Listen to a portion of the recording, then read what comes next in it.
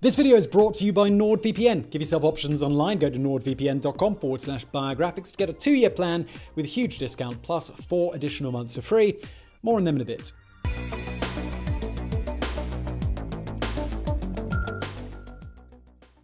There's no doubt that Leland Stanford deserved the title robber baron. He relied on unscrupulous and immoral practices to achieve his fortune. He used his influence as governor to benefit his private businesses. He rallied against immigrants but then used them to build his railroads because they were cheaper. And yet, this is not how he's usually remembered. Leland Stanford managed to shed the stigma of ruthless robber baron that still applies to many other rich industrialists of his time, mainly thanks to his philanthropy in his later years. Whether or not this is deserved, you can decide for yourself as we explore the life and the man behind America's first transcontinental railroad, Leland Stanford.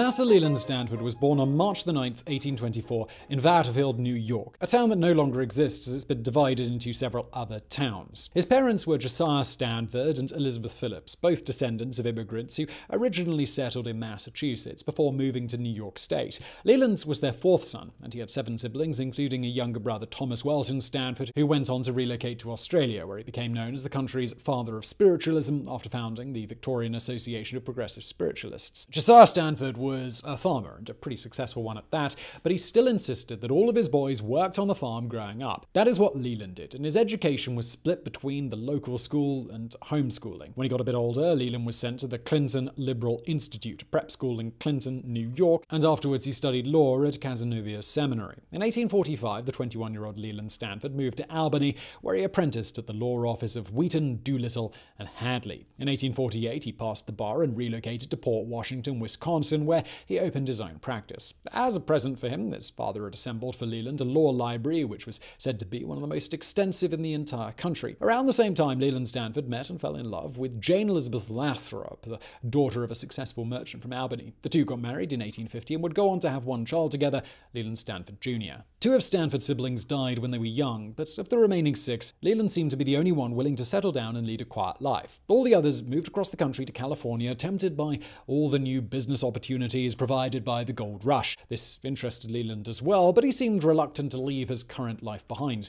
At least that was until 1852, when his entire home burned down, including his beloved library. With nothing keeping him in Port Washington anymore, Stanford packed up his bags and headed out to California, while his wife returned to her family in Albany, New York, and waited for him to get settled. Later that same year, Stanford made his way to Michigan City, California, known today as Michigan Bluff, and opened a general store there. It did pretty well due to its optimal location in the heart of mining country. Stanford was liked and respected by his peers and also served as a justice of the peace. He stayed there for a few years before selling the place and returning to his wife in Albany. Now that they were better off financially, the couple executed a permanent move to California, this time settling in Sacramento, where Stanford did business with his brothers.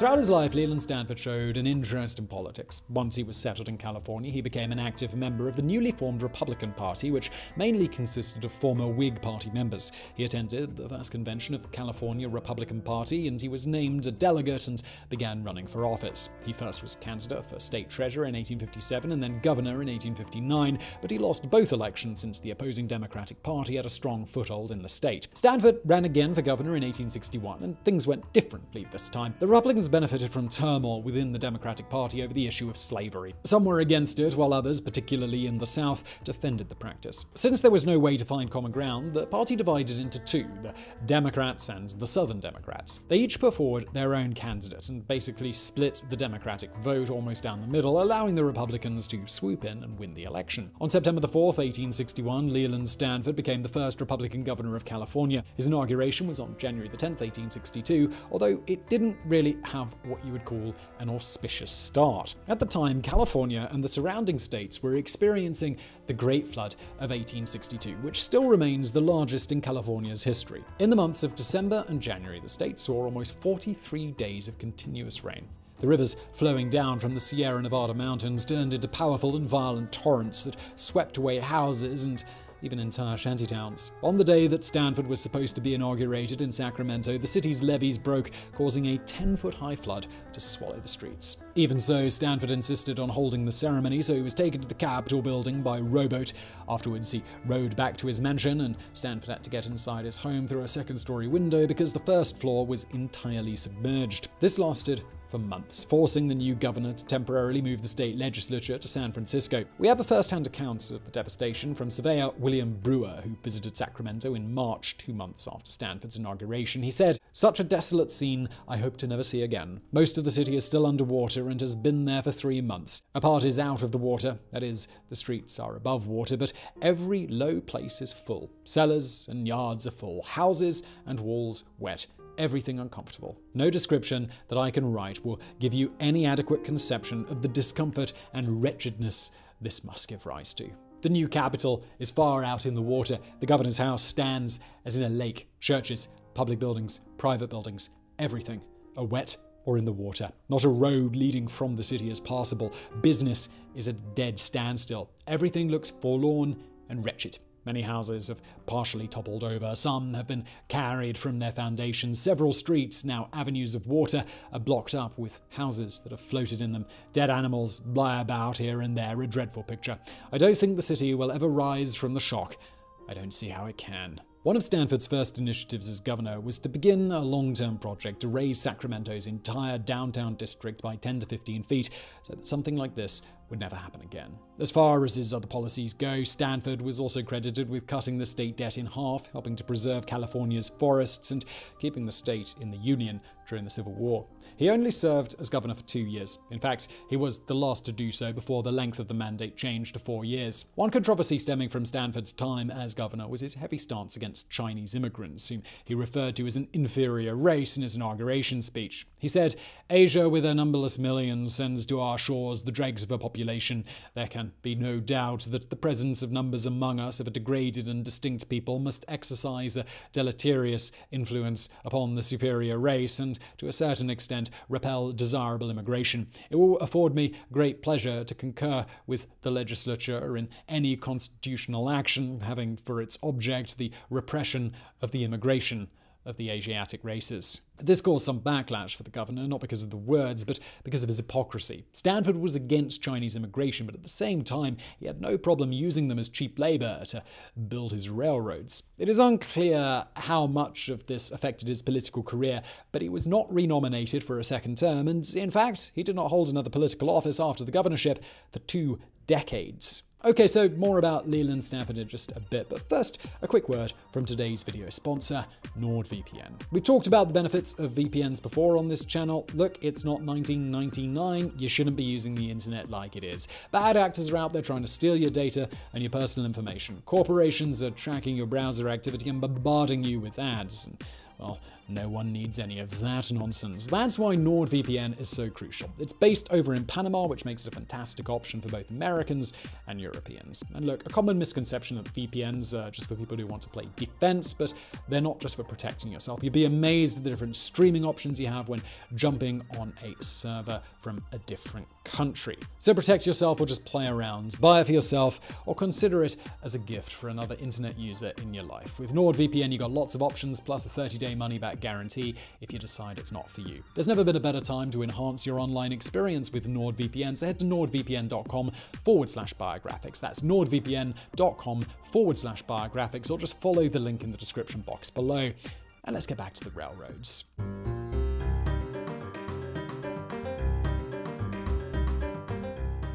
The same year that Leland Stanford was elected governor of California, he also embarked on a business endeavor that turned him into one of the richest men in America. Like many of his fellow robber barons, Stanford invested in the railroad. It all started with a civil engineer named Theodore Judah. After planning and building several regional railroads, he believed he had surveyed a viable route to traverse the mountains of California and into the neighboring states. This section could then be joined up with other railroads to form what was at the time the most ambitious engineering project in American history the first transcontinental railroad. Judah organized a meeting in Sacramento where he outlined his plans, but most other attendees balked at his ideas. One man didn't, and his name was Collis P. Huntington. He was one of the city's most successful merchants. He held a private meeting with Judah and he told the engineer that he would find more men willing to invest in his plans. Those men were banker Charles Crocker, merchant Mark Hopkins, and Leland Stanford. Together with Huntington, they were known as the Big Four, the main investors behind what became the Central Pacific Railroad, or CPRR, with Stanford serving as president of the new company. US Congress chartered the rail company in 1862. That same year, Congress also passed the Pacific Railroad Acts in order to promote the construction of the Transcontinental Railroad. Obviously, things were made much easier for the CPRR because its president also happened to be the governor of California. In fact, throughout his entire two year term, Leland Stanford used his political influence to assist his private business, also securing land grants, loans, and other benefits. Construction on the railroad began in earnest in 1863, handled mainly by Charles Crocker. Leland Stanford also devoted himself to the railroad industry once his governorship had ended, but it seems that he had a habit of frustrating his business partners by either staying silent for days on end or for coming up with harebrained schemes. Crocker described him as being awful, lazy, and as someone who needed somebody else to follow him or to stop the leaks and do the work, whereas Huntington considered his management style to be the circus. Despite tensions between the Big Four and other problems that came along, the CPRR was built at a rapid pace, thanks in no small part to the 15,000 Chinese immigrants who constituted the bulk of the workforce used to lay down the 700 mile railway that started in Sacramento and ended in Utah. Although he rallied against immigrants as a politician, Stanford changed his tune when he saw the savings, since he didn't have to pay them as much as American workers or provide them with living accommodations. A similar thing was happening with the Eastern Railways, except that they mainly relied on Irish labour instead of Chinese. The Central Pacific Railroad was completed on May 10, 1869, when it was connected to the Union Pacific Railroad to form the first transcontinental railroad. This happened in Promontory, Utah, and has been hailed as the first mass media event in the United States. It was celebrated across the entire country almost in real time thanks to telegraph messages and the numerous journalists and photographers who were on hand to document the momentous occasion. A golden spike was used to symbolically join the rails of the two companies, and the man who drove it in was none other than Leland Stanford, forever linking his name to one of the country's most ambitious and most successful endeavors. Central Pacific's first locomotive was also named the Governor Stanford in his honor. The end of the project also did not mean the end of Stanford's involvement in the rail industry. Afterwards, the Big Four sought to extend their railroad monopoly and began in California, where they either bought or built other regional railways which were consolidated with the CPRR. Of particular importance was the Southern Pacific Company and its subsidiary Southern Pacific Railroad, which in time would grow to become bigger, more successful, and more important than the Central Pacific Railroad. In fact, in 1885, CPRR was leased to the Southern Pacific Company and remained a subsidiary before being officially merged.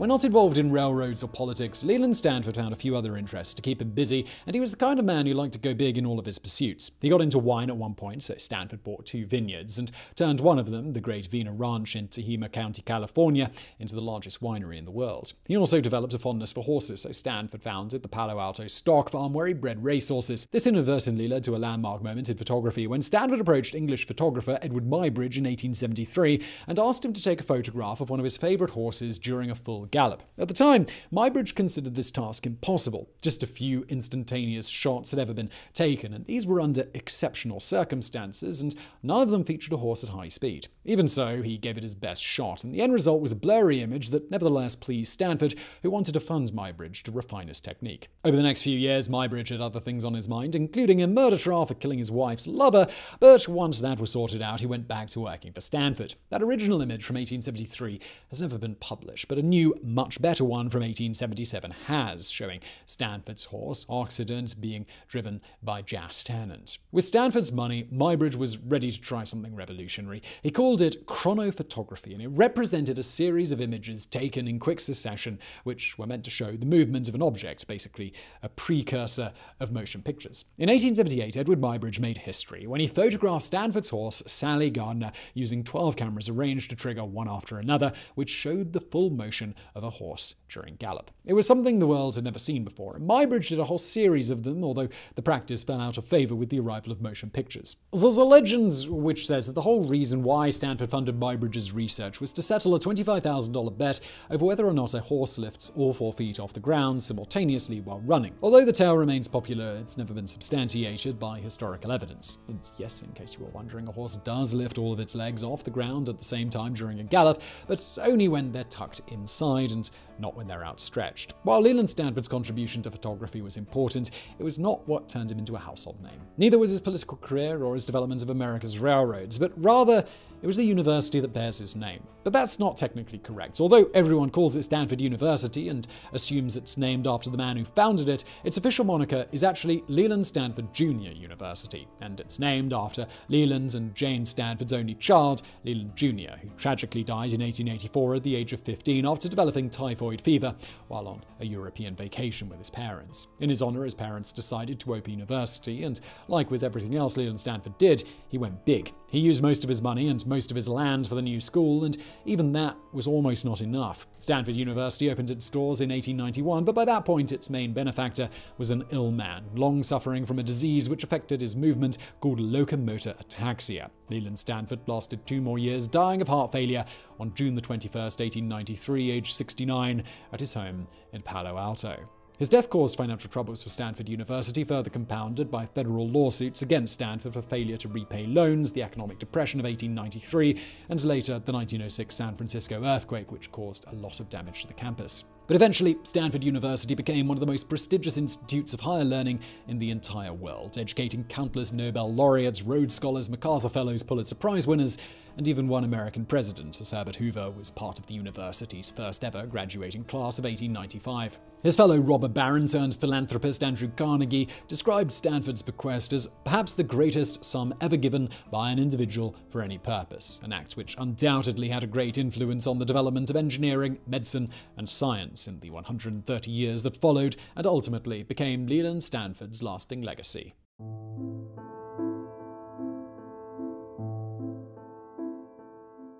Normally when the subject of a biographics dies, it's about time for us to end the video, but that's not actually the case with Leland Stanford, because one of the most interesting events surrounding him happened 12 years after his death. A murder mystery and a cover-up, both involving his wife, who was killed with strychnine on February 28, 1905, and her death remains unsolved to this day. After her husband's demise, Jane Stanford mainly preoccupied herself with the administration of the university, where she sometimes butted head with the board members and professors, including the president of Stanford University, David Starr Jordan. The strange events surrounding Jane Stanford actually began a month and a half before her death, when it is likely that her killer first tried to poison her and failed. On the night of January 14, 1905, Jane Stanford was at home in her San Francisco mansion. She had a glass of mineral water before going to bed and noted that it tasted very bitter. Immediately, her throat started to burn, so she forced herself to vomit. Her maid and secretary ran up to see what the matter was, and they both tasted the water and agreed that it was unusually bitter. The next day, they took it to a chemist who confirmed that there was enough strychnine in the bottle to kill Jane Stanford in just a few minutes. The 76 year old survived this time, but was left deeply disturbed by this attempt on her life. Needing time off to recuperate, Jane Stanford planned a trip to Hawaii. Back in San Francisco, rumors of her attempted poisoning were quelled by the university president, David Starr Jordan, who insisted that Mrs. Stanford was seeking warmer climates after a bout with pneumonia. The time spent in Hawaii did her well at first. However, on February the 28th, Mrs. Stanford was in Honolulu, checked in at the Moana Hotel. She ate a big lunch, so for supper she just had some soup, and afterwards she asked her secretary, Bertha Berner, for some bicarbonate of soda to treat her upset stomach. Berner did as instructed, and later that night, after 11 p.m., she was woken up by cries coming from Mrs. Stanford's room room. The old woman was in pain and said that she'd been poisoned again. The secretary went to get the doctor, but this time it was too late. Mrs. Stanford's last words were, This is a horrible death to die, before being taken over by violent spasms and then finally succumbing to the poison. It was strychnine again, which had been found in the bicarbonate of soda. Jane Stanford was surrounded by three physicians when she died, and they all said that her symptoms appeared to be those of strychnine poisoning. Then an autopsy found strychnine in her system, and a coroner's jury reached the conclusion that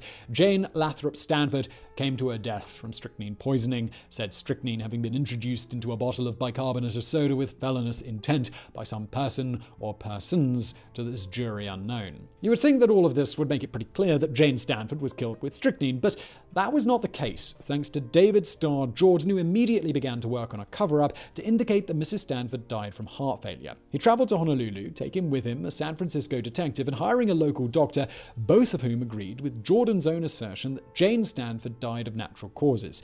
The university president even accused the victim's personal physician of adding the poison to the bicarbonate of soda after her death in order to disguise his own incompetence when it came to treating his patient. Back in the continental US, Jordan's statements carried more weight than the investigation performed in Honolulu, so his version of events became the official story for over half a century. As to why he did it, we're not really sure. It could be that he simply did not want any kind of scandal associated with the university, or it could be that he wanted to deflect suspicion from himself, since everyone knew that he and Mrs. Stanford did not get along, and there were rumors that she intended to have him removed from the presidency. Unfortunately, due to his actions, Jane Stanford's poisoning has never been properly investigated, so her death remains a mystery.